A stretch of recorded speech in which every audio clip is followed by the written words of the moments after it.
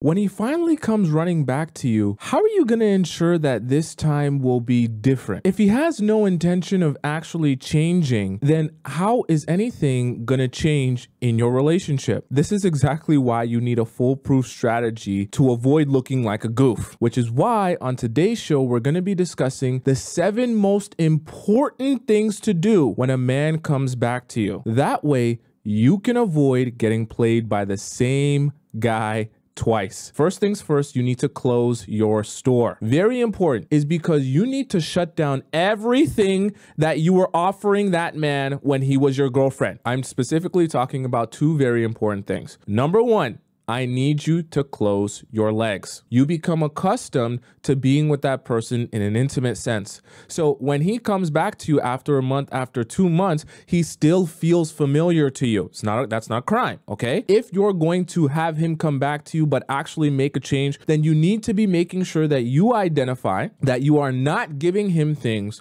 that he was receiving from you as a wife or girlfriend. But the second thing that you're gonna be closing is you're gonna close down down that wifey treatment. Meaning, when he comes back to you, you do not, you do not you do not hop right back into giving him the same type of wife and girlfriend treatment that you were giving him when you guys were in an official relationship. That is a privilege, not a right. You were giving him those things because there was commitment in the relationship. That was like part of his reward. He got more of you because he was committed to you and this relationship. You have to understand when he comes back to you after you two have broken up, you cannot be giving the same amount you you were giving when there was commitment on his part as well. All that's going to make him realize is, oh, I was once her boyfriend and she was giving me wife treatment, but that required my commitment. Now I'm back and I'm not actually technically her boyfriend.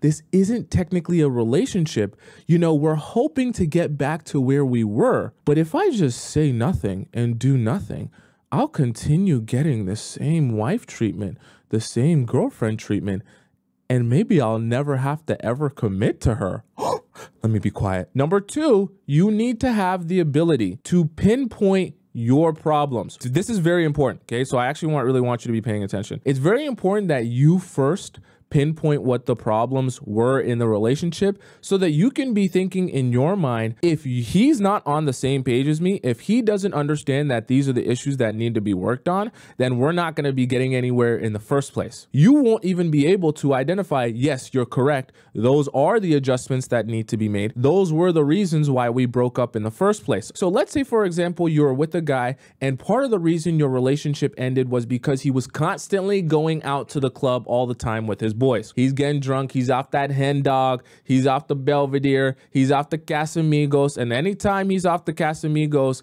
he's got wandering eyes. He's going over to APs with his boys and he's coming back home at 4 a.m. Let's say that was the reason why your relationship ended. He now comes back to you oh, I'm so sorry. Oh, I apologize for my behavior. I just want to this to work out with us so badly and I want to make sure that we can grow into our relationship and I want to be with you and I miss you and I care about you and I want us to work. You have to be thinking in your mind, one of the main issues, if not the main issue in our relationship, was you hanging out with your hoodlum friends, going out to the club, getting drunk, going to APs, and doing nefarious stuff. So if you have no solution for that, or you even first can't even identify that that was the issue leading to the problems in our relationship, and I know that, then I automatically know you're not actually here to change anything or adjust anything or build any real relationship that's supposed to end up better. In turn, then you then know I'm wasting my time entertaining you coming back to me. Now, number three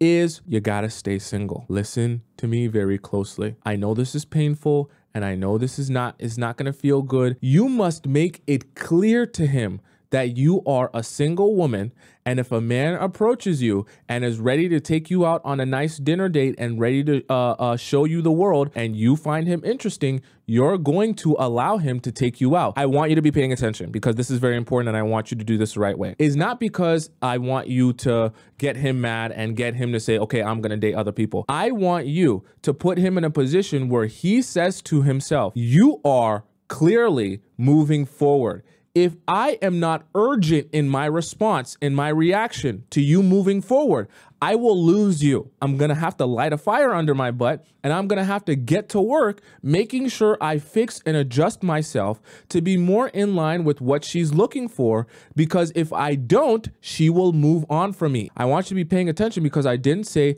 go out and start sleeping with a bunch of other men. I didn't even say you necessarily have to go out on a bunch of dates. I just want you to make it clear to him that he does not automatically get you back in the same position that he had you as his girlfriend by simply saying a couple of words. Number four, you need to gauge his awareness. You say that you want us to go back to where we were in our relationship and you want this to, to work out again and you want to build with me. Cool. Are you even able to identify the reasons that our relationship didn't work out in the first place? Because if you're not able to identify the reasons that our relationship didn't work out in the first place, how can you have any sort of strategy or plan to make an adjustment or make a change so that we don't continue to see the same problems that we were once seeing in our relationship? You pinpointed, like in the example I gave, that the problem was he goes out with his buddies, he gets drunk with his buddies, and all his buddies do is want to hang out at the club. And every time he goes to the club and gets drunk, everything nefarious and strange happens and he's out till 4 a.m. If he comes back to you and you're asking him questions like, okay, so you say you want to get back, but how are we not going to see the same issues as before? If he then says, well, we don't have to make any changes. I just know that I love you and you know that you love me. And this time it'll be different because we know how much we care about each other. I'm sorry, what? That means nothing. When I go to the club with my boys and I get drunk with my boys, I'm just going to choose not to do the same thing. How are you possibly going to make different choices while doing the exact same thing? An actual strategy would be I'm I'm going to stop going to the club with my boys. And when I go out with them, I'm going to go out to places like during the day or that aren't the club. Or I'm going to stop drinking. 99.9% of people are never going to stop drinking, so that's probably not going to be the solution. My favorite car friends, they love cars. Rather than going to the club, we like to meet up with our cars, fix our cars, and I'm to be switching and hanging out with those friends more instead of my friends that love to go to the club. Those are actual solutions and courses of actions that will put him in a different environment and allow both of you to see a different result. Number Five, I never want you to sacrifice or adjust your life for him. This is also really important. And I never, ever, ever, ever, ever, ever, ever, ever, ever, ever want you to forget this because this will ruin everything that you've been doing. I.e., you do not take work off to see him. You do not rearrange your schedule to see him. You don't uh, let go of plans with friends or family to be with him. Nothing. You make no sacrifices and no adjustments for him. I know this sounds very mean and very inconsiderate, but I want you to understand you need to be so mean and so hyperfixated on, look, you really need to show me something here if I'm going to recommit myself back to you. And you need to be of the mindset I'm giving you absolutely nothing. I know that's painful for you, but I need to give you absolutely nothing so I can be sure that you're here for the right reasons and you actually have the drive and motivation to build this relationship into something amazing. Because if you don't have that drive and motivation, then you're here for the wrong reasons and you're not even, you won't even be motivated enough to actually make changes or actually make adjustments necessary for our relationship. One, because you don't want to reinvest into a man that is not investing in you. And number two, because you need to be able to observe what are your actual intentions. How do you actually feel about this relationship? Not through your words, but through your actions. If he's telling you, hey, I want you to come over right now because the voice spoke to me from air and the voice was so strong in my mind and it told me that we miss each other so much and I know that it's 3 a.m. and I know that I just left the club, but I know how badly I want to see you. He's probably going to add some sniffles and some tears into there, right? But what you need to be doing is you need to say, uh, no, if you want to come back into my life and this voice spoke to you, how badly you want to be with me and how badly you want to be in this relationship with me, I have work tomorrow. The next day after that, I have a plan with my friends. And then the next day after that, I have a, uh, a family function. So if the voice is speaking to you so loud and clear, and you know so badly that you want to be with me, then you can gladly wait for three days until I'm free.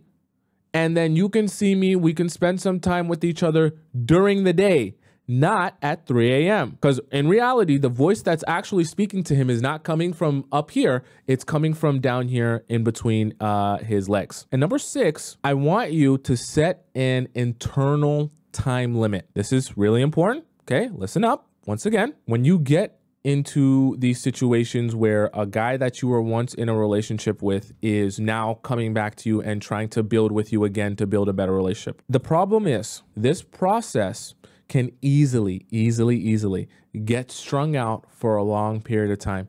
And it especially gets strung out when you are offering him a lot of what he already wanted and was looking for from you without the commitment. That's when guys will say, Oh, I want this to stay exactly how it is. I am getting what I want and I'm not giving a lot. If I have to give a lot, that's a lot of sacrifice on my part. I don't want to sacrifice a lot on my part. It's going to be one month, two months, three months. And every time right? He's going to say, yeah, we're working on getting back to where we were. You're going to be like, but we've been working on this for, for a month.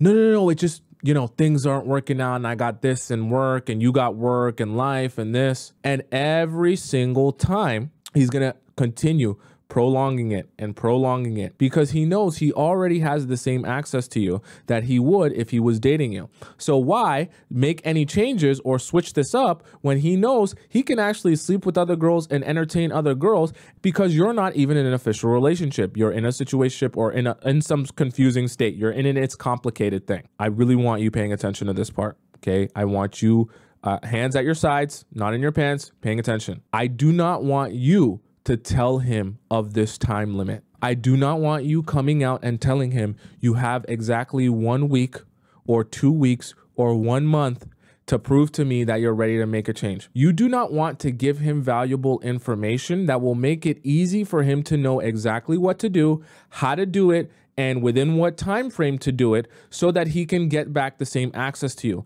Because then you won't be sure if he did it because he actually wanted to do it and because he actually wanted to better this relationship. You'll be left thinking that he did exactly what I wanted him to do because that's what he wanted to do when in reality he just did exactly what you wanted to do because he knew that was the way to get what's in between your legs your squirtle. And then number 7 this is a very funny one and interesting one. Avoid nostalgia. I know, hold on, I know that when I give you a strategy on what to do and how to go about this and what to look for, it's all great in theory.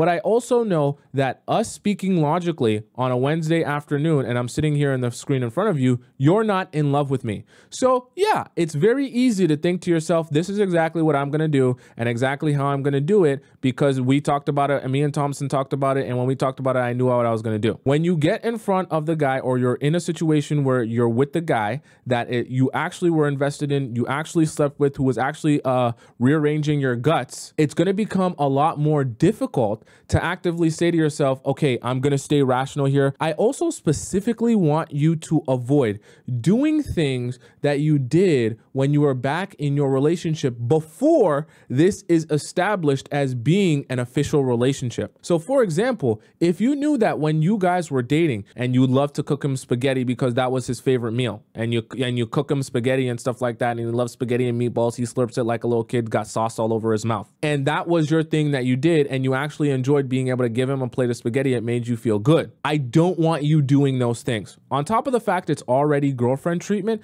those are part of the things that will give you nostalgia about the situation that will make you feel like, oh, I loved when we would share these moments together. All of that stuff will make you super nostalgic about the relationship and make you emotionally weak, where you think to yourself, oh, I just want to be in this relationship again. I want to be his girlfriend again. And you'll forget the fact that he came back to you, meaning that he was the one that said, I want to be with you. I want to make this work with you. And because he came back to you in that scenario on bended knee, wanting wanting to be with you, you have the power. Never forget that. You have the power.